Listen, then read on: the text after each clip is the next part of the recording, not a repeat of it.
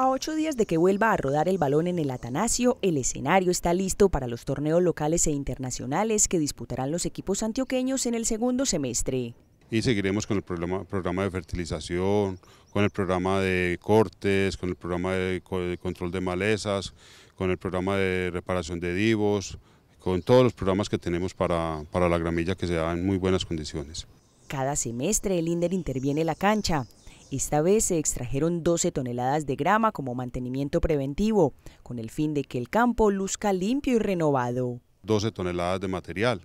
que es la hojita seca, muerta, que está contra el piso y queda, la, y queda el tallo verdecito, limpio, sin nada de basura. Tras los trabajos de aireación, descompactación, el corte y la aplicación de los fertilizantes, la grama toma un color amarillo que irá desapareciendo con el pasar de los días. En cuanto a que ruede el balón, en que no tengan ningún problema los jugadores eh, de una lesión por causa de la cancha, eso lo vamos a tener seguro y no vamos a tener problemas